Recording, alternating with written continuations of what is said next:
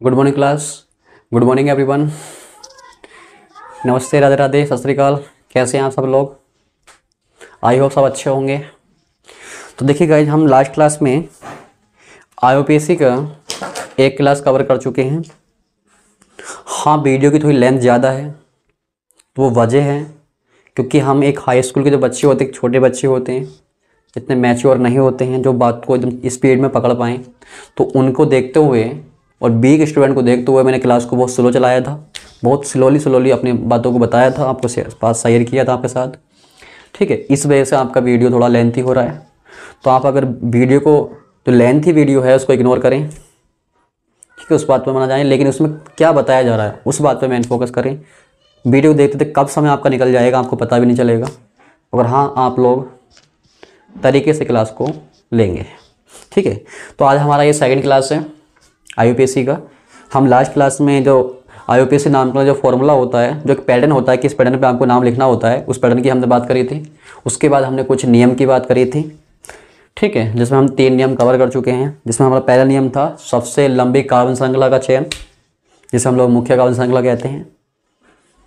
दूसरा नंबरिंग का फैक्टर था, कि नंबरिंग उस साइड से करते जिस साइड से शाखा को कम से कम नंबर मिले जब शाखा हो केवल। क्रियात्मक समूह डबल बोन ट्रिपल बोन ना हो, तब की बात हो रही है ये। ठीक है, जब वो लोग आएँगे तो बात पलटेगी थोड़ा ये।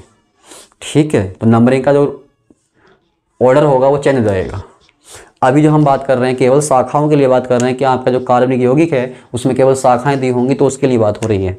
तो नंबरिंग उस साइड से करते हैं जिधर से शाखा पहले आ जाए।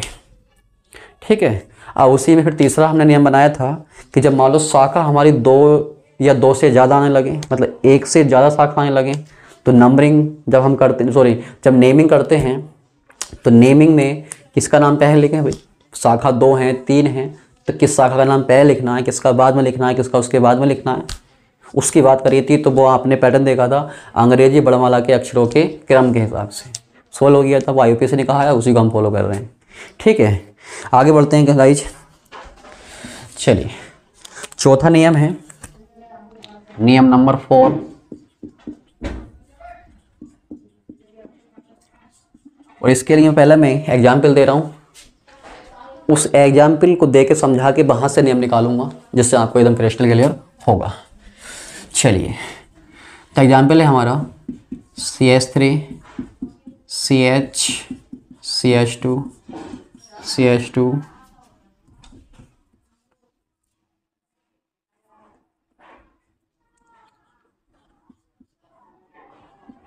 C H three यहाँ लगा है बी आर यहाँ लगा है सी एल तो इसका नाम देने जाना है। तो सबसे पहला काम होता है, मुख्य कार्बन श्रृंखला का चयन। मतलब जो सबसे लंबी कार्बन श्रृंखला होती है तो यहाँ पे हमें एक ही दिख रही है। बॉक्स में बंद कर देंगे तुरंत। तुरंत बॉक्स में बंद कर दें। ठीक है? इसके बाद हम लोग बॉक्स के अंदर जो कार्बन है, उनकी नंबरिंग की जाती है। तो नंबरिंग इधर से करेंगे। जिधर से शाखा को कम से कम नंबर मिले। अब नंबरिंग हम इधर से करने गए तो एक, दो तो दो पे लगी है शाखा। नंबरिंग इधर से करी, एक, दो तो दो पे लगी है शाखा। फंस गए। फंस गए ना गए हाँ ही बनेगा नहीं। अब क्या करते हैं नंबरिंग इधर से करें या नंबरिंग इधर से करें? फंस गए ना यहाँ पे। ठीक है। तो इस तरह की जब हम सिचुएशन सामने आएगी तो आयुपेसी ने कहा है कि आप नंबरिंग उस साइड से करें, उस साइड से करें मतलब नंबरिंग शाखा जब इधर से भी सेम नंबर पे हो और इधर से भी सेम नंबर पे हो। तो उस केस में नंबरिंग उधर से सही मानी गई है, जो अंग्रेज़ी बड़माला के क्रम के हिसाब से पहले आता है। तो अगर दोनों में अगर हम बात करें तो जो हमारा बंदा है ब्रोमो बी से लिखा जाता है। भाई, ब्रोमो लिखना आना आपको? बी से लिखा जाता है। और ये जो हमारा क्लोरो है, सी से लिखा जाता है। इतना तो हम जान रहे हैं, ठीक है ना? C for chloro, B for bromo. तो अंग्रेज़ी वर्णमाला के हिसाब से बी पहले आता है और सी बाद में आता है। तो जो अंग्रेज़ी वर्णमाला के हिसाब से पहले आ रहा है, नंबरिंग उसी की साइड से वैलिड है। ओके? तो इस हिसाब से नंबरिंग हमारा इधर से किया जाएगा एक, दो, तीन, चार, पाँच। बस ये सिचुएशन है हमारी। इस सिचुएशन में फंसेंगे तो ये नियम बता दिया आईयूपीएससी ने किस तरह से कर लेना डेली इसको। बस इसी हिसाब से लिख देंगे। अब नाम लिखने चलते हैं। तो पैटर्न क्या है हमारा नाम लिखने का? सबसे पहले शाखा का नाम। तो हमारी दो शाखा हैं। तो नाम किसका पहले लिखें? फिर से वही अंग्रेज़ी वाला तो बी वाले का पहले आएगा। नंबर है इसका दो। तो दो ब्रोमो, उसके बाद चार पे लगा है क्लोरो, दो ब्रोमो, चार क्लोरो, उसके बाद रिंग नहीं है मुख्य कार्बन श्रृंखला पाँच कार्बन है, पाँच के लिए आता है पेंट, कार्बन कार्बन के सिंगल बॉन्ड दिख रहा है हमें तो एन। ठीक, क्रियात्मक समूह यहाँ पे है नहीं। चलिए तो नियम क्या हो गया हमारा ये?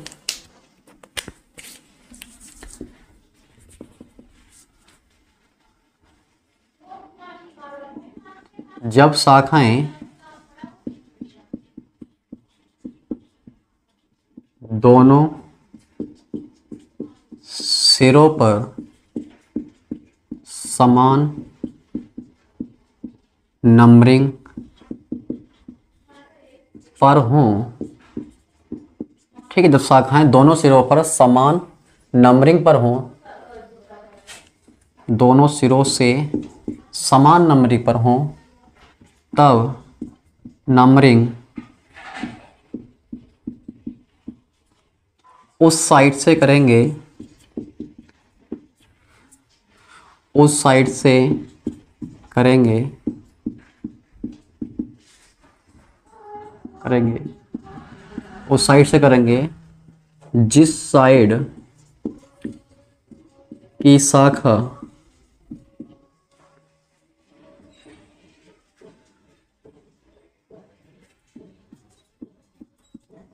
अंग्रेज़ी।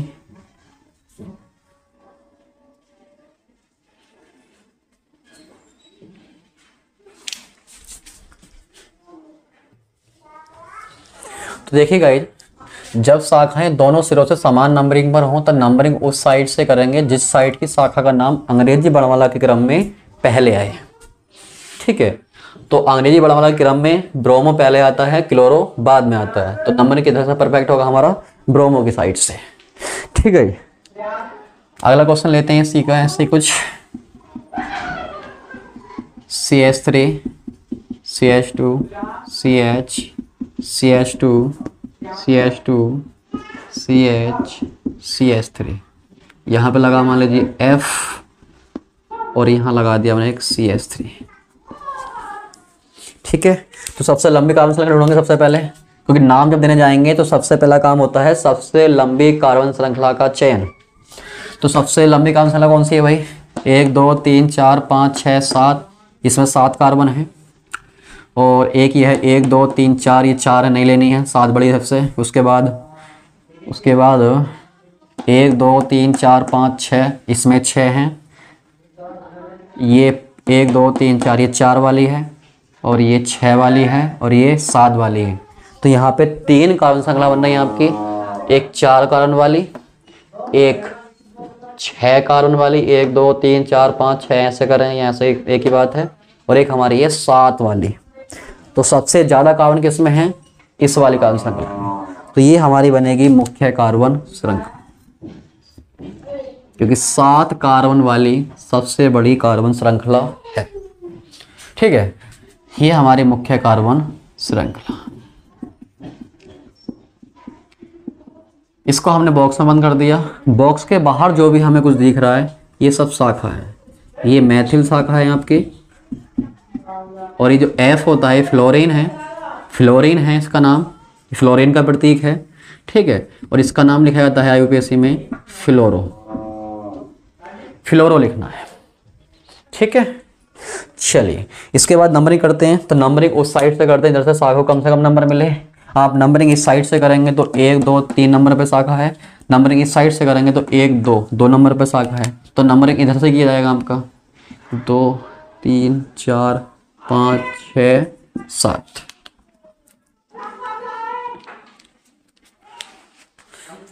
चलिए तो अब नाम लिखते हैं। अब यहाँ पे एक से ज़्यादा शाखाएँ आई हैं। तो नाम अंग्रेज़ी वर्णमाला क्रम के हिसाब से लिखा जाएगा। तो फ्लोरो लिखा जाता है एफ़ से। और मैथ लिखा जाता है एम से। तो एफ़ पहले आता है एम बाद में आता है। तो दो नंबर पे है आपका फ्लोरो। दो फ्लोरो। पाँच पे है मैथिल उसके हम यहाँ पे रिंग ले नहीं रहे हैं। रिंग है ही नहीं। फिर मुख्य कार्य श्रृंखला सात हैं। सात के लिए हैप्ट उसके बाद बॉन्ड सिंगल है एन क्रियात्मक समूह है नहीं तो उसका नाम नहीं आएगा तो दो फ्लोरो, पाँच मैथिल, हेप्टेन इस कार्बनिक यौगिक का नाम है। चलिए, और क्वेश्चन लेते हैं, थोड़ा और प्रैक्टिस कराते हैं आपकी इस पर C H three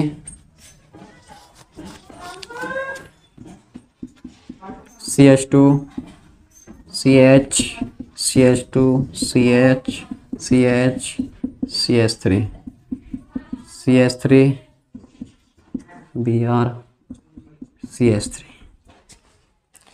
चलिए।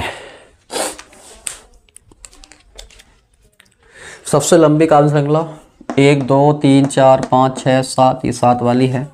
एक, दो, तीन, चार, पाँच छः सात। एक सात वाली एक सीधी है और सात वाली एक ये है। ठीक है?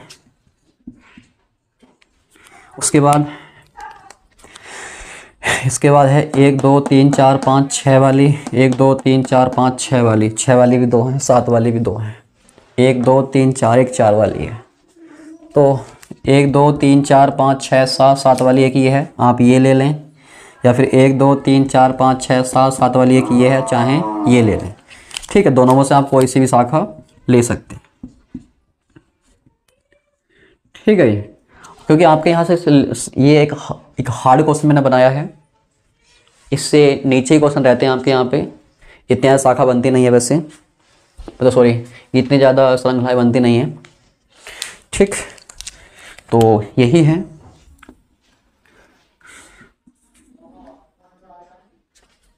नंबरिंग करने के लिए उधर से जाएँगे। जिधर से नंबर शाखा कम से कम मिले तो ये सब तीनों शाखाएँ हमारी। इधर से तीन नंबर पे शाखा आ रही है, इधर से दो नंबर पे शाखा आ रही है। तो जिधर से शाखा पहले आए, नंबरिंग उधर से ही करना है। चलिए। एक, दो, तीन, चार, पाँच छ सात। ये परफेक्ट है। उसके बाद मैथिल एम से और ब्रोमो बी से। तो बी पहले आएगा, तीन नंबर पे। तो तीन ब्रोमो उसके बाद नाम मैथिल का है मैथिल दो है, एक दो नंबर पे है और एक पाँच नंबर पे है। तो दो कोमा पाँच। नंबर थोड़ा छोटा वाला पहले लिखाया था, उसके बाद बड़ा, फिर उससे बड़ा, ठीक है ना? थोड़ा नंबर को हम बढ़ते क्रम में ही लिखते हैं। दो हैं। दो के लिए आएगा डाई मैथिल क्योंकि सी एस थ्री आपके दो है ना? एक दो पे लगा है एक पाँच पे लगा है। ठीक है, दो के लिए डाई डाई मैथिल रिंग बनी नहीं है। मुख्य कार्बन श्रृंखला सात। सात के लिए फिर से हैप्ट। बॉन्ड सिंगल है, एन। क्रियात्मक समूह है नहीं नाम छोड़ दिया जाएगा। ठीक है, अब इसकी बात कर लेते हैं हम लोग। यहाँ बात कर लेते हैं इस बात को।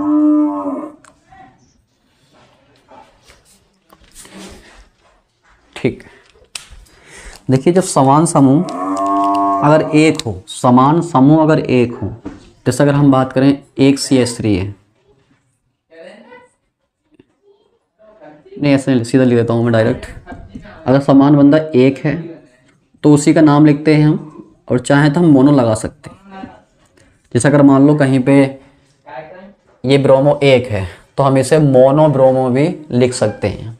लेकिन लिखते नहीं हैं, ठीक है ना? उसके बाद मान लो एक जैसे समूह दो हैं।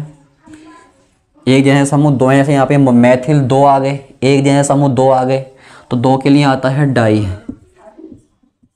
एक जैसे समूह अगर तीन हैं तो तीन के लिए आएगा ट्राई एक जैसे समूह अगर चार हैं तो आएगा टेट्रा। पाँच हैं तो आएगा पेंटा। छः हैं तो आएगा हेक्सा।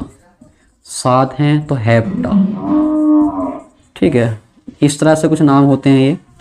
ज़्यादातर हम यूज़ जो कर पाएँगे, ज़्यादातर डाई ट्राई टेट्रा। बस यही तीन चलेंगे ज़्यादा, बाकी इतना आगे होता नहीं है। इतनी ज़्यादा एक जगह शाखाएँ लगेंगी नहीं। और लग भी जाएँ तो लिखवा दिया हमें सात तक। इससे बाहर जाएगा नहीं, आठ के लिए आप लिख चाहें तो लिख सकते हैं। आठ के लिए ऑक्टा, नौ के लिए नोना, दस के लिए डैका, ऐसा लिख दिया जाता है। चलिए, इसकी छोड़ सकते हैं आप इसका?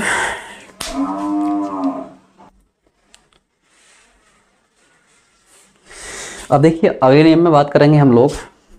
देखो, एक प्रकार से हम नियम नंबर दे रहे हैं, नियम वन, टू, थ्री, फोर।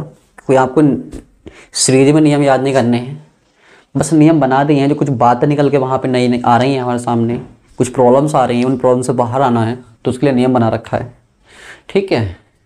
तो वही बातें हैं, उन बातों को हमें वन बाई वन सीखते जाना है। तो अब तक आपने केवल शाखा देखी। ठीक है? जिनमें कार्बन कार्बन के बीच में आपने सिंगल बॉन्ड देखा था, बस यही सब आ रहा था। अब हम डबल बॉन्ड और ट्रिपल बॉन्ड को यहाँ पे शामिल करते हैं। ठीक है? जैसे आपका ये C H three C H double bond C H C H two C H B R C H two C H three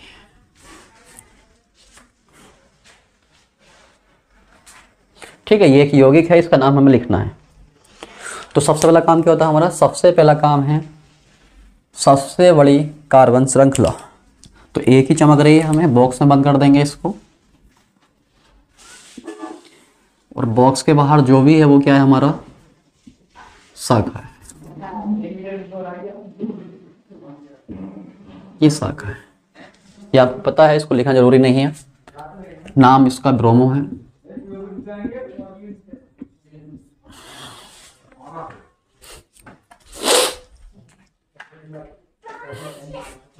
तो नंबरिंग किधर की परफेक्ट मानी जाएगी।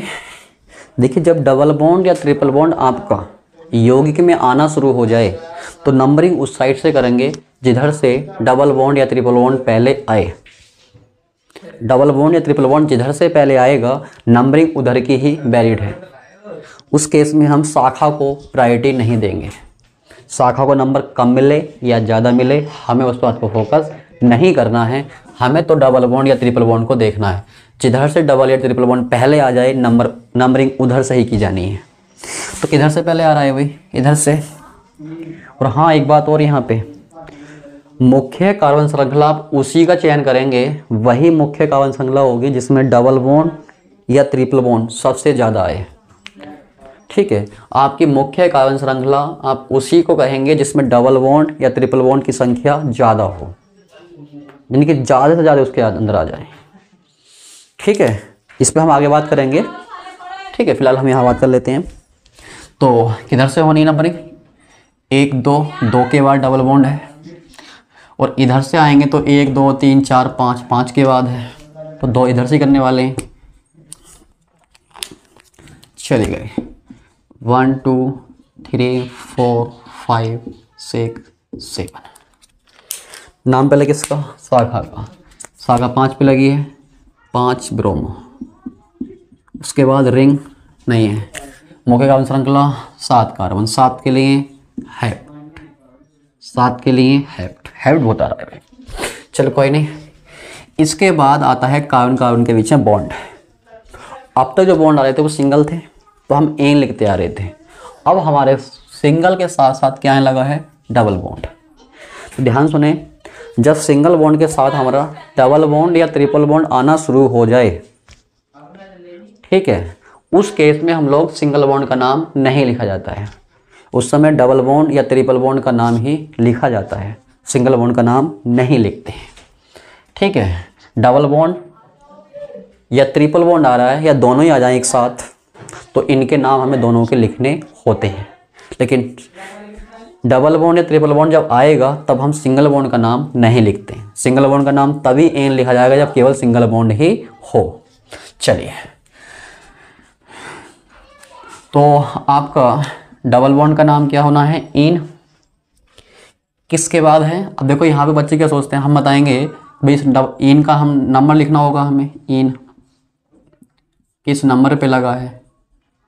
तो भाई दो के बाद है, तीन के बाद है। कुछ कहेंगे तीन के बाद है, कुछ कहेंगे दो के बाद तो इस बात से, इस प्रॉब्लम मतलब इस सिचुएशन से निकलने के लिए हम क्या करेंगे? नंबरिंग जिधर से करी है, उधर से देखो किस नंबर के बाद आ रहा है। तो एक, दो दो के बाद है। तो इसका नंबर जो आएगा, इनका क्या आएगा आपका? दो आएगा टू इन पाँच ब्रोमो हैप्ट टू इन ये नाम हो जाएगा इसका। ठीक है? नंबरिंग जिस साइड से आपने करी है, उस साइड से देखो किस नंबर के बाद डबल बॉन्ड आ रहा है। बस ये देखना होता है।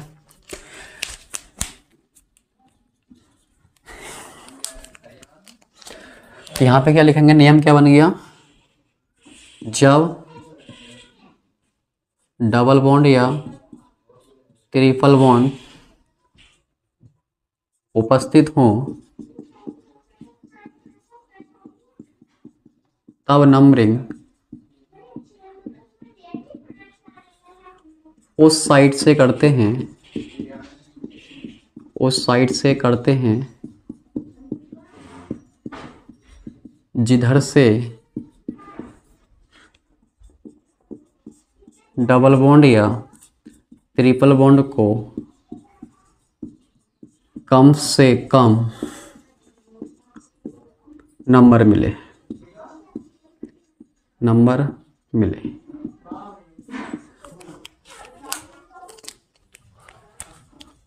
और इस स्थिति में कि नंबरिंग पर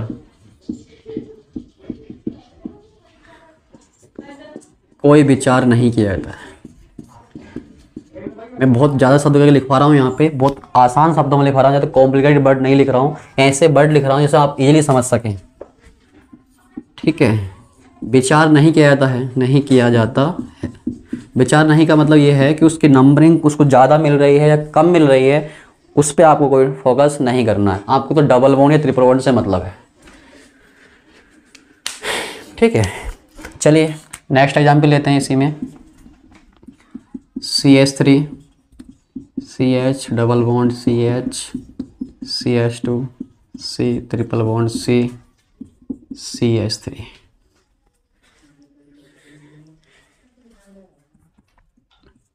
C H two C H three यहाँ पे वहाँ लगे लग गया आपका बी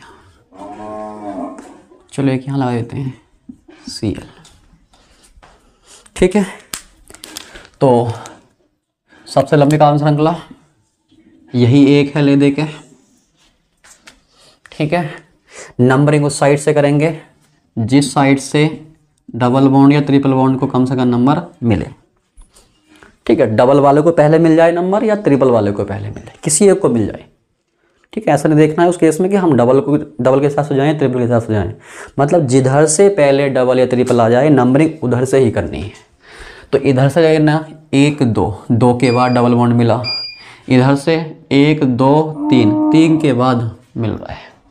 आप शाखा पे फोकस नहीं करेंगे। शाखा पे कोई विचार नहीं। आप डबल बॉन्ड या ट्रिपल बॉन्ड को ही देखेंगे। इधर से तीन नंबर पे आ रहा है और इधर से दो नंबर पे आ रहा है। तो आप जिधर से कम नंबर मिल रहा है डबल या ट्रिपल बॉन्ड को नंबरिंग उधर से ही करनी है। तो एक, दो, तीन चार, पाँच छः सात, आठ। अब इनको नंबर ज़्यादा मिल रहा है या कम मिल रहा है, जैसे नंबरिंग अगर इधर से करते तो क्लोरीन को कम नंबर मिलता, शाखा को। लेकिन हमें इसको विचार ही नहीं करना, हमें तो डबल बॉन्ड ट्रिपल बॉन्ड देखना है। तो डबल बॉन्ड के हिसाब से गए तो दो नंबर के बाद है ट्रिपल बॉन्ड के हिसाब से गए तीन नंबर के बाद है। तो कम नंबर इधर से मिला डबल या ट्रिपल को, इधर से। तो यही परफेक्ट है हमारी नंबरिंग चलिए अब नेमिंग के लिए फॉर्मूला है, किसका पहले लिखें? सबसे पहले नाम शाखा का आता है तो शाखा यहाँ पे एक से ज़्यादा है तो अंग्रेज़ी वर्णमाला के हिसाब से जाएँगे। तो ब्रोमीन ब्रोमो बी से लिखाया था क्लोरो सी से लिखाया था तो बी पहले आएगा बी लगा है चार पे। चार सॉरी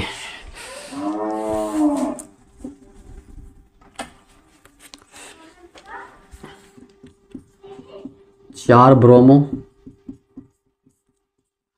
उसके बाद सात क्लोरो। चार ब्रोमो, सात क्लोरो। उसके बाद रिंग नहीं है। मुख्य काल श्रृंखला, आठ। आठ के लिए आएगा ऑक्ट। उसके बाद कार्बन कार्बन के बीच में जो बॉन्ड होते हैं, उनके नाम लिखे जाते हैं। तो यहाँ पर डबल बॉन्ड भी है और ट्रिपल बॉन्ड भी है। अब सवाल ये उठता है भाई, नाम तो हमें डबल बॉन्ड ट्रिपल बॉन्ड के लिखने होते हैं। सिंगल बॉन्ड का नाम नहीं लिखते हैं, जब डबल या ट्रिपल आना, आने लगे मतलब। ठीक है, लेकिन डबल बॉन्ड ट्रिपल बॉन्ड के नाम लिखे जाते हैं। अब सवाल ये उठता है कि डबल बॉन्ड का नाम पहले लिखें या ट्रिपल बॉन्ड का नाम पहले लिखें? तो अगर हम बात करें डबल बॉन्ड की तो डबल बॉन्ड को हिंदी में इन लिखते हैं और इंग्लिश में ई से लिखा जाता है, ईन। और ट्रिपल बॉन्ड को हिंदी में आइन लिखते हैं और इंग्लिश में बाई से लिखा जाता है, आइन। ठीक है? तो इन को इंग्लिश में ई से लिखा जाता है और आइन को इंग्लिश में बाई से लिखा जाता है। हिंदी से जाओगे तो हिंदी में लगेगा ए से लिखा जाता होगा। नहीं, बाई से लिखा जाता है। आइन को बाई से, बाई एनी आइन। ठीक है? तो अब अंग्रेज़ी बढ़ावला का हिसाब यहाँ देखेंगे। तो कौन पहले आ रहा है? ई पहले आएगा, बाई पहले आएगा। ई पहले आएगा। तो डबल बॉन्ड का नाम पहले ट्रिपल बॉन्ड का नाम बाद में। तो यहाँ लिख देंगे। डबल बॉन्ड किस नंबर पे है? दो नंबर के बाद है तो टू इन उसके बाद ट्रिपल बॉन्ड है पाँच नंबर के बाद तो पाँच आइन। यहाँ लिख दें जगह कम है वहाँ पे। ये। बस ये है। क्योंकि हमें प्रॉब्लम है ना यहाँ पे। भाई डबल बॉन्ड ट्रिपल बॉन्ड के नाम एक साथ लिखे जाने अब किसका पहले लिखें, किसको बाद में लिखें? तो आई ने कहा है, भाई, अंग्रेज़ी बनवाने के साथ चले जाओ। तो भाई ई पहले आता है बाई बाद में आता है तो इन का नाम पहले लिखो आइन का नाम बाद में लिखो। ठीक है? तो ये एक प्रॉब्लम है, ये फेस हो गई। क्लियर चलिए, अगला क्वेश्चन लेते हैं इसी में। C S three C double bond C दो और एक, तीन और एक, चार। उसके बाद single bond C H single bond C H two C H two C triple bond C उसके बाद है सी एच थ्री यह हम लगा दिया हमने बी आर और यहाँ लगा दिया सी एच थ्री चलिए गई इसकी देखते हैं। लेवल बहुत ऊपर उठ चुका है आपका। धीरे धीरे धीरे धीरे आपका लेवल काफ़ी ऊपर जा चुका है आपको पता भी नहीं चला होगा अब तक। लेवल काफ़ी ऊपर तक जा चुका है ये। हाई स्कूल के लेवल से हम बहुत ऊपर उठ चुके हैं। लेवल बहुत ऊपर चला गया आपका। ठीक है। चलिए। अब देखिए, सबसे पहला काम है, सबसे लंबी कार्बन श्रृंखला का चयन। तो एक, दो, तीन, चार, पाँच छः सात, आठ। उसके बाद एक, दो, तीन, चार, पाँच, छः। एक, दो, तीन, चार, पाँच सॉरी एक, दो, तीन, चार, पाँच। तो पाँच वाली मिल रही है, छः वाली मिल रही है तो एक आठ वाली मिल रही है। तो आठ वाली लेंगे। ठीक है, यही लेंगे हम लोग। क्योंकि ये वो है जिसमें कार्बन भी ज़्यादा हैं और ये इसमें डबल बॉन्ड और ट्रिपल बॉन्ड सभी आ जा रहे हैं। सभी तो नहीं कहेंगे, ऐसा कि बोल देंगे सबसे ज़्यादा आएँगे। ठीक कभी कभी ऐसा होता है कि हम डबल बॉन्ड रह जाएगा। तो वो यहाँ पे इतना वो केस यहाँ नहीं बनने वाला हाई स्कूल के हिसाब से बनेगा, वो देखेंगे। जब क्वेश्चन लगाएँगे अपने और, जो आए हुए क्वेश्चन लगा, करेंगे हम लोग। जब हमारे नियम कंप्लीट हो जाएँगे तो हम फिर अपनी प्रैक्टिस करेंगे। तो उसमें वो क्वेश्चन लेंगे, जो हमारे आए हुए क्वेश्चन हैं, जो बोर्ड में कभी ना कभी पूछे गए हैं, उनकी हम प्रैक्टिस करेंगे। ठीक है, एक बार इनको कवर कर लेते हैं पूरे को। अब देखिए, हम नंबरिंग करने जाएँगे। तो नंबरिंग किधर से करेंगे भाई? नंबरिंग हम लोग उधर से करेंगे, जिधर से डबल बॉन्ड या ट्रिपल बॉन्ड को कम से कम नंबर मिले। क्योंकि डबल बॉन्ड या ट्रिपल बॉन्ड जब आते हैं, तब हम शाखाओं की नंबरिंग पे कोई विचार नहीं करते हैं। तब हम डबल बॉन्ड या ट्रिपल बॉन्ड को देखते हैं। तो अब नंबरिंग हम इधर से करने जाएँगे तो एक, दो दो के बाद डबल बॉन्ड है। नंबरिंग इधर से करने आएँगे तो एक, दो दो के बाद ट्रिपल बॉन्ड है। अब अभी तक हम ये कह रहे थे, हम नंबरिंग उधर से करेंगे, जिधर से डबल बॉन्ड या ट्रिपल बॉन्ड पहले आए। ये जो हमने क्वेश्चन लगाए हैं, ये वो क्वेश्चन थे जिसमें डबल बॉन्ड ट्रिपल बॉन्ड पहले आ रहा था। अब यहाँ पे क्या है इस क्वेश्चन में? इस क्वेश्चन में प्रॉब्लम ये हो गई डबल बॉन्ड भी दो नंबर के बाद है और ट्रिपल बॉन्ड भी दो नंबर के बाद है। अब किधर से करें? वही वाली शाखा वाली कहानी आ गई? तो आप समझ गए होंगे क्या कहना चाह रहा हूँ। जैसे शाखा में हमने सीखा था, जब शाखा दोनों तरफ़ से समान नंबर पे आ जाएँ तो आप नंबरिंग उधर से करेंगे। ठीक है, उधर से करने वैलिड होगी। जिधर से शाखा जो हमारी होती है, उसका नाम अंग्रेज़ी वर्णमाला के हिसाब से पहले आए तो अब क्या वही यहीं लगेगा सर? बिल्कुल। वही कॉन्सेप्ट यहाँ लगने वाला है। जब आपका डबल बॉन्ड ट्रिपल बॉन्ड में टाई हो जाए, भाई नंबर इधर से भी दो नंबर पे है डबल बॉन्ड इधर से दो नंबर पे ट्रिपल बॉन्ड बैठा है। तो अब डबल बॉन्ड ट्रिपल बॉन्ड में टाई हो रहा है। तो किधर से करेंगे आप लोग? अंग्रेज़ी बड़माला का क्रम यहाँ पे अपनाएँगे। तो उस हिसाब से हमारा इन पहले आता है और आइन बाद में आता है। तो नंबरिंग इन की साइड से करी जाएगी। इन के साइड से की जाएगी। क्लियर है? जब डबल बॉन्ड और ट्रिपल बॉन्ड दोनों तरफ़ से समान नंबरिंग पे आए, समान नंबर उनको मिल रहा हो तो उस केस में नंबरिंग हम डबल बॉन्ड की साइड से करते हैं। क्यों? क्योंकि अंग्रेज़ी बड़माला के हिसाब से इन पहले आता है और आइन बाद में आता है। इसलिए चलिए। एक, दो तीन, चार, पाँच, छ, सात, आठ। नाम लिखने जाएँगे तो वही हमारा फॉर्मूला क्या है? शाखाओं का नाम पहले लिखते हैं। तो शाखा यहाँ पे दो हैं, एक ब्रोमो है एक मैथिल है। तो ब्रोमो पहले आएगा क्योंकि अंग्रेज़ी बड़े के हिसाब से बी पहले आता है और एम बाद में आता है। तो चार पे लगा है ब्रोमो। चार ब्रोमो, पाँच मैथिल चार ब्रोमो, पाँच मैथिल, शाखा का नाम हो गया। इसके बाद आएँगे रिंग नहीं बन रही है। मुख्य कार्बन श्रृंखला, आठ कार्बन है, आठ के लिए आएगा ओक्ट। उसके बाद कार्बन कार्बन के बीच में बॉन्ड। ओवर हो गया मार्कर सॉरी गाइस प्रॉब्लम हो रहा है। ज़्यादा हो रहा है इसमें? चलिए, ओक्ट। इसके बाद डबल बॉन्ड और ट्रिपल बॉन्ड के नाम आने हैं। तो नाम पहले डबल बॉन्ड का लिखा जाता है, उसके बाद ट्रिपल बॉन्ड का। वही अंग्रेज़ी वाला फॉलो होती है। तो इधर से नंबरिंग करी है तो दो के बाद आया है। दो पे इन है, और आपका छः पे आइन है। शाखा है नहीं तो उसका नाम नहीं आएगा।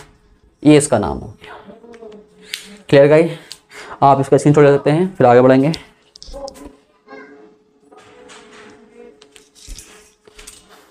चलिए गई अब हमने यहाँ पर डबल बॉन्ड और ट्रिपल बॉन्ड की कहानी देखी उसको हमने समझा। कहाँ कहाँ हम फंस सक सकते हैं? हमने वहाँ पे भी, वहाँ से कैसे निकलना है? वहाँ पे क्या नियम है? वो भी हमने यहाँ से सीखा है। अब गाइड समय आ गया है क्रियात्मक समूह को लेने का। ठीक है? अब क्रियात्मक समूह के हिसाब से बात करेंगे। मतलब ऐसे कार्मिक यौगिकों के नाम लिखेंगे, जिसमें हमारे क्रियात्मक समूह भी आएँगे। ठीक है? चलिए लेते हैं। तो जब क्रियात्मक समूह आएगा तो नंबरिंग हम किधर से करेंगे? क्रियात्मक साइड मतलब क्रियात्मक समूह की तरफ़ से करते हैं। ठीक है? जब क्रियात्मक समूह उपस्थित हों मतलब जो आपका कार्बनिक यौगिक है, अगर उसमें क्रियात्मक समूह उपस्थित हों, तब नंबरिंग तब नंबरिंग उस साइड से करते हैं। जिधर से क्रियात्मक समूह को, क्रियात्मक समूह को कम से कम नंबर मिले जब क्रियात्मक समूह उपस्थित हो तब। जब क्रियात्मक समूह उपस्थित हो तब। नंबरिंग उस साइड से करते हैं जिधर से क्रियात्मक समूह को कम से कम नंबर मिले। ठीक है, एक ऑर्डर होता है। ऑर्डर ये है, अगर क्रियात्मक समूह है तो नंबरिंग क्रियात्मक समूह की साइड से की जाएगी। और क्रियात्मक समूह अगर नहीं है तो डबल बॉन्ड और ट्रिपल बॉन्ड के बारे में सोचना है। तो नंबरिंग उधर से करेंगे, जिधर से डबल बॉन्ड या ट्रिपल बॉन्ड को नंबर कम से कम मिले। और डबल बॉन्ड ट्रिपल बॉन्ड नहीं है, तब हमें शाखाओं के हिसाब से सोचना है। तब नंबर आपका शाखाओं को पहले मिलना चाहिए। ये आपका ऑर्डर का मतलब आपका जो नंबरिंग है नंबरिंग का क्रम है। नंबरिंग का ऑर्डर तो सबसे कम नंबर क्रियात्मक समूह को, अगर क्रियात्मक समूह है तो नंबर क्रियात्मक समूह को कम से कम मिलना चाहिए। उस केस में इनके बारे में नहीं सोचा जाएगा। चाहे इनको नंबर कम मिले या ज़्यादा मिले, कोई मतलब नहीं है। कम से कम पे कौन रहे? क्रियात्मक समूह रहे। और मान लो क्रियात्मक समूह नहीं है, यौगिक में है ही नहीं। डबल बॉन्ड ट्रिपल बॉन्ड आ रहे हैं। तब नंबरिंग उस साइड से करेंगे जिधर से डबल बॉन्ड या ट्रिपल बॉन्ड को नम, कम से कम नंबर मिले। इसमें एक पॉइंट फंसता है जब दोनों बंदे दोनों साइडों से समान नंबर पे आए तो नंबरिंग हम डबल बॉन्ड की साइड से करते हैं। क्यों? क्योंकि उसका नाम जो इन होता है वो पहले आता है अंग्रेज़ी वर्णमाला के हिसाब से। तो अगर इन दोनों में टाई हो जाएगा कभी तो प्रायोरिटी किसको देते हैं? जब टाई हो इनके केस में डबल बॉन्ड या ट्रिपल बॉन्ड में टाई हो जाए तब हम डबल बॉन्ड को प्राथमिकता देखते हैं ट्रिपल बॉन्ड से की तुलना में, ठीक है ना? वो अंग्रेज़ी बड़ा को फॉलो कर लेते हैं हम लोग, उसी से हमें याद रहेगा, ठीक है? और अगर मान लो क्रियात्मक समूह भी नहीं है डबल बॉन्ड ट्रिपल बॉन्ड भी नहीं आ रहा है, तब शाखाओं के बारे में बात हुई थी हमारी, शुरुआत हमने वहीं से करा था, ठीक है? चलिए क्वेश्चन लेते हैं इसका। C H three C H two C H B R C H C H three C H two O H तो सबसे लंबी कार्बन श्रृंखला, सबसे लंबी कार्बन श्रृंखला वो होगी जिसमें डबल बॉन्ड ट्रिपल बॉन्ड और क्रियात्मक समूह ज़्यादा से ज़्यादा आए ठीक है? भले ही वहाँ पे कार्बन कम हो, भले ही कार्बन कम हो। ठीक है? लेकिन ये केस जो मैं बात बोल रहा हूँ कि मतलब जिसमें डबल बॉन्ड ट्रिपल बॉन्ड कहते हैं, सबसे ज़्यादा आए वो आपकी मुख्य श्रृंखला होगी। ये बात ठीक है। और ये आपको साफ़ दिखेगी हाई स्कूल के हिसाब से। ठीक है तो उसी पर रहते हैं हम लोग। लेकिन थोड़ा सा अगर लेवल आगे बात करें तो हम लोग वो ही सबसे लंबी कार्बन श्रृंखला लेंगे, जिसमें मतलब उसी को हम मुख्य कार्बन श्रृंखला कहेंगे, जिसमें डबल बॉन्ड ट्रिपल बॉन्ड और क्रियात्मक समूह ज़्यादा से ज़्यादा उपस्थित हों। भले ही कार्बन क्यों ना कम हो। भले ही कार्बन कम हो लेकिन डबल बॉन्ड ट्रिपल बॉन्ड और क्रियात्मक समूह ज़्यादा से ज़्यादा है उस वाले श्रृंखला में तो उसी को हम कह दिया करेंगे मुख्य कार्बन श्रृंखला। ठीक है थोड़ा लेवल ऊपर ले गए हम फ़र्स्ट के साथ चले गए अब। ठीक है, चलिए बता दिया मैंने। बाकी तो यहाँ ऐसे साथ कोई दिक्कत ही नहीं है। साफ़ दिखता है यहाँ पे। एक, दो, तीन, चार, पाँच, इसमें पाँच हैं। अब देखो, यहीं पर देखो क्वेश्चन आ भी गया ये। एक, दो, तीन, चार, पाँच। देखो एक, दो, तीन, चार, पाँच। पाँच इसमें भी आ रहे हैं। और पाँच ये भी हैं। एक, दो, तीन, चार, पाँच। अब मैं पाँच वाली ये लूँ या पाँच वाली ये लूँ? अब एक ये भी है, एक, दो, तीन तीन वाले भी है। तीन वाली लूँ? तो भैया, तीन वाले में तो कार्बन ही कम है, वो लेंगे नहीं है। पाँच वाली फोकस करें तो पाँच वाली एक ये है, पाँच वाली अगर ये वाली लें तो इसमें क्रियात्मक समूह नहीं आ रहा है तो नहीं लेंगे। लेकिन अगर इस पर फोकस करें तो इस वाली में एक, दो, तीन, चार, पाँच कार्बन हैं, लेकिन इसके अंदर क्रियात्मक समूह आ रहा है। तो पाँच कार्बन कौन सी लोगे आप लोग? ये वाली, सीधी। इसे नहीं लेंगे क्योंकि इस वाली श्रृंखला में, ये श्रृंखला आपको दिख रही है, जहाँ मेरा मार्कर घूम रहा है, इसमें क्रियात्मक समूह नहीं है। क्रियात्मक समूह इससे बाहर आ गया है। क्लियर है? ये चीज़ होता है। चलिए। आई होप आपको ये बात समझ में आई होगी। एक, दो, तीन, चार, पाँच। पाँच वाला ये भी है, लेकिन इसमें क्रियात्मक समूह आया है। लेकिन अगर इस वाले को लेते तो इसमें क्रियात्मक समूह नहीं था। यहाँ पे इससे अलग हो रहा है वो। डायरेक्ट होता है इसमें तो कोई दिक्कत ना थी ठीक है, तब तो आया था उसके अंदर। अब तो जिस ओ OH पे मतलब जिस कार्बन पे ओ OH लगा है, वो कार्बन इसमें मौजूद है। लेकिन अगर ये वाली श्रृंखला ली जाती, ये वाली तो जिस कार्बन पे ओ OH लगा है, वो इस श्रृंखला में आ ही नहीं रहा है। ठीक है ये चीज़ होता है। तो आपको वही सबसे लंबी कार्बन श्रृंखला लेनी है, जिसमें डबल बॉन्ड ट्रिपल बॉन्ड और क्रियात्मक समूह ज़्यादा से ज़्यादा उपस्थित हों, भले ही कार्बन कम क्यों ना रह जाएँ। ओके? चलिए। तो नंबरिंग किधर से करेंगे क्रियात्मक समूह की साइड से होनी है बड़े लोग यही हैं, सबसे बड़े लोग ये हैं, उससे छोटे ये हैं, सबसे छोटे ये हैं। चलिए तो नंबरिंग इधर से होनी है।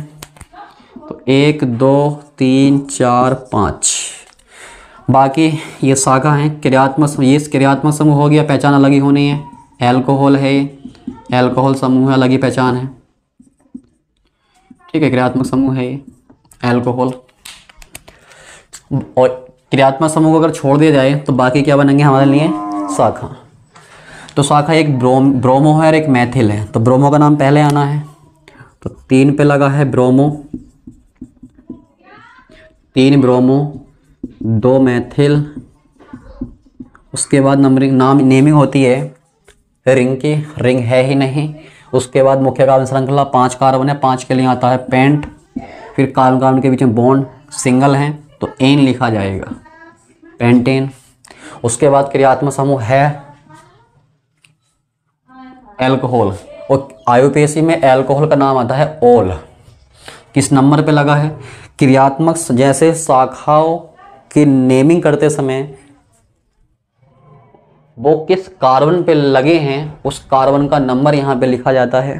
सेम उसी प्रकार से क्रियात्मक समूह जिस नंबर के कार्बन पे लगा है, वो नंबर यहाँ पे नाम के साथ उसके लिखा जाता है। तो कहाँ लगा है? बन पे, बन, ओल। तो तीन ब्रोमो, दो मैथिल, पेंटेन, वन ओल। अब देखो, हमारी शाखा हो या क्रियात्मक समूह, अगर नाम के आगे बन है तो बन हम हटा भी सकते हैं। ये अंडरस्टूड रहेगा, अगर किसी के आगे बन नहीं है तो बन हम उसको समझेंगे। ठीक है, हम इसको ऐसे भी लिख सकते हैं। तीन ब्रोमो दो मैथिल, यहाँ पे पेंटेन, बन ओल। तो बन हटा दो तो पेंटेन प्लस ओल फेंटेनोल हो जाएगा। पेंटेन प्लस ओल पेंटेनोल ये चीज़ है। तो अगर ओल के आगे कोई नंबर नहीं है तो वो क्या समझा जाएगा? एक नंबर के कारण पे लगा है। चलिए।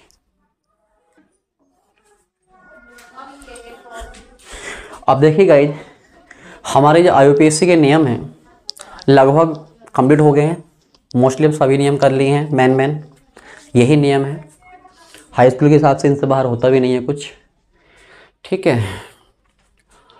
अब कुछ क्वेश्चन और देखते हैं हम लोग इस क्लास में। दो चार क्वेश्चन और देखते हैं। उसके क्लास को ख़त्म करेंगे। और इसके बाद जो अगली क्लासेस आएँगी हमारी, उसमें हम वो लेंगे, थोड़ा पेट मतलब हाई करेंगे अपना लेवल जिसमें हमारे क्रियात्मक समूह एक से ज़्यादा होंगे।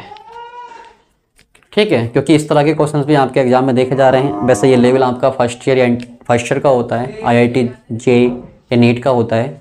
ठीक है, जब क्रियात्मक समूह एक से ज़्यादा आने लगे ठीक है तो एक से ज़्यादा वालों की कहानी क्या होती है, हम अगली क्लास में समझेंगे।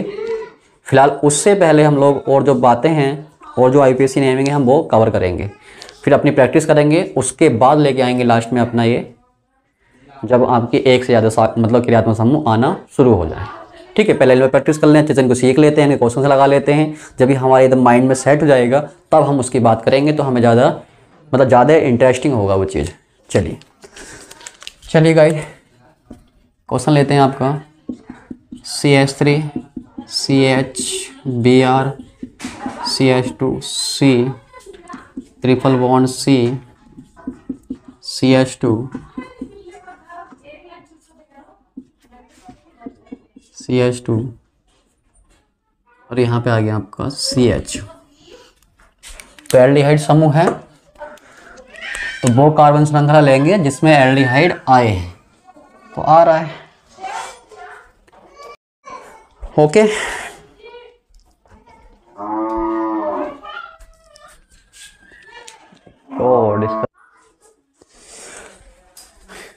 अब देखिए गाइज़ आपका जो एल्डिहाइड समूह है, ये हमारे कार्बोक्सिल समूह आएगा। इनके अपने अपने समूह में कार्बन होता है। ठीक है? तो इनका जो कार्बन होता है, इसे हम मुख्य कार्बन श्रृंखला में लेते हैं। मुख्य कार्बन श्रृंखला में इसका कार्बन लिया जाता है। अगर इससे ऊपर के लेवल की बात करें तो कभी कभी क्वेश्चन हमारे ऐसे होते हैं कि हम चाहकर भी इसके कार्बन को मुख्य कार्बन श्रृंखला में नहीं ले पाते हैं। लेकिन हम आपके जिस लेवल की बात कर रहे हैं, उस लेवल में, आपके हाई स्कूल लेवल में ये मुख्य कार्बन श्रृंखला में इसका कार्बन रहेगा।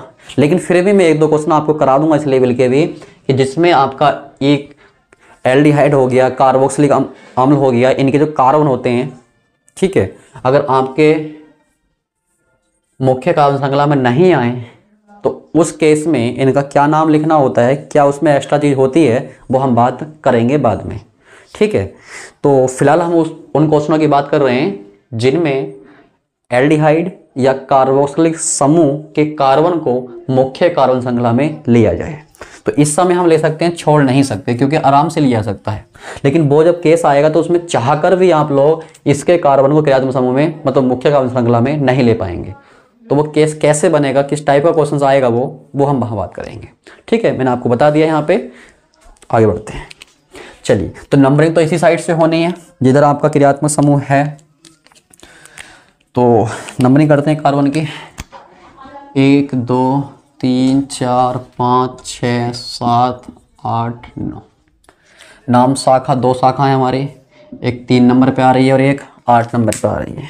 वो दोनों शाखा एक ही हैं। चलिए। तीन, कोमा, आठ। तीन, कोमा, आठ। और जी di bromo three comma eight di bromo उसके बाद रिंग नहीं बन रही मुख्य कार्बन श्रृंखला नो कार्बन नो के लिए आएगा नॉन उसके बाद ट्रिपल बॉन्ड आया है तो डबल बॉन्ड सिंगल बॉन्ड का नाम नहीं लिखा जाएगा। किसके बाद है? पाँच नंबर के कार्बन के बाद। तो पाँच आइन उसके बाद क्रियात्मक समूह है, एल्डिहाइड, और एल्डिहाइड का नाम क्या आता है? एल एल्डिहाइड में एल आता है ना? एल वन पे लगा है तो वन एल ऐसे लिख सकते हैं। और अगर क्रियात्मक समूह डबल बॉन्ड ट्रिपल बॉन्ड या फिर क्रियात्मक समूह के आगे नंबर ए वन लिखा है, एक नंबर लिखा है तो उसे हम छोड़ भी देते हैं। ठीक है?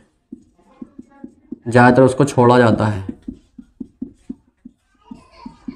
पाँच आइन तो आइन एल हो जाएगा ये।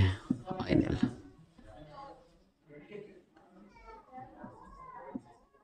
आइन एल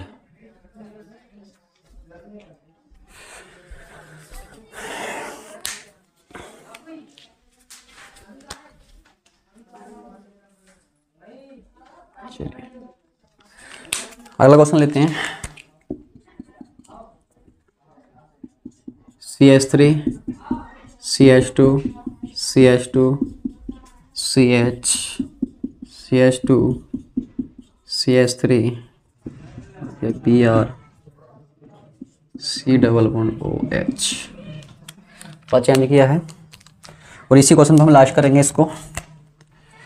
तो सबसे लंबी कार्बन श्रृंखला यही बनेगी, जिसमें हम क्रियात्मक समूह जो एल्डिहाइड है, उसका कार्बन ले सकते हैं। और नंबरिंग इधर से होने वाली, आप इतना सीख चुके हैं तो फास्ट कर लेते हैं इसको। One two three four five six बाकी हैं आपके ये शाखा। तो ब्रोमो का नाम पहले आएगा तो पाँच ब्रोमो।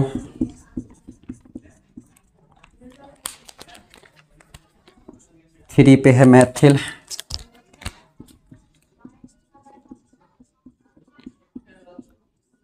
पाँच ब्रोमो थ्री मैथिल। उसके बाद कार्बन छः हैक्स सिंगल बॉन्ड एन और बन पे लगा है एल तो हेक्सिनल हो जाएगा ये। बन, छोड़ देंगे। चलिए गाइज़ क्लास को यहीं फिनिश करते हैं। आई होप क्लास आपको पसंद आया होगा। क्लास पसंद आया हो तो वीडियो को लाइक करें चैनल को सब्सक्राइब करें। ठीक है, और आपका ये लाइक और सब्सक्राइब भी हमारी एनर्जी होता है। अगर वीडियो आपको अच्छा लगता है तो चैनल को सब्सक्राइब ज़रूर करें, ठीक है, जिससे हम वीडियो को अपना कंटिन्यू कर सकें। आप लोग सपोर्ट करेंगे तो हम वीडियो कंटिन्यू कर पाएँगे, ठीक है, अच्छे से अच्छा कंटेंट देने का आपको प्रयास करेंगे, ठीक है। क्लास को ही फिनिश करते हैं। जय हिंद, जय भारत।